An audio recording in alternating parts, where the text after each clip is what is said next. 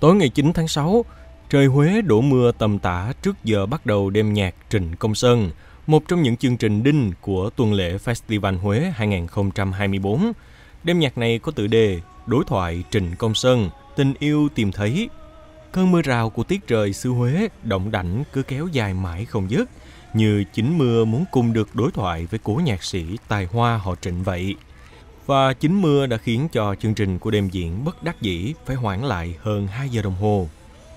Sau hơn 2 giờ đồng hồ, dù trời còn mưa, nhưng ban tổ chức vẫn quyết định bắt đầu đêm nhạc để chiêu lấy sự ái mộ đặc biệt của khán giả Huế với Trịnh Công Sơn.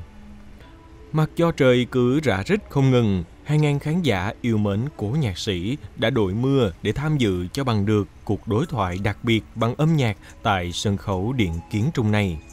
Theo gia đình của nhạc sĩ Trịnh Công Sơn, đêm diễn dù gặp thời tiết mưa lớn bất lợi, nhưng chính tình yêu của khán giả đã tiếp thêm động lực rất lớn cho các nghệ sĩ, người làm chương trình hoàn thành buổi biểu diễn. Đây cũng là một đêm nhạc trịnh với cách tiếp cận rất mới, đa dạng về thể loại âm nhạc nhằm thay đổi cách tiếp cận của nhạc trịnh đến với đông đảo công chúng yêu nhạc.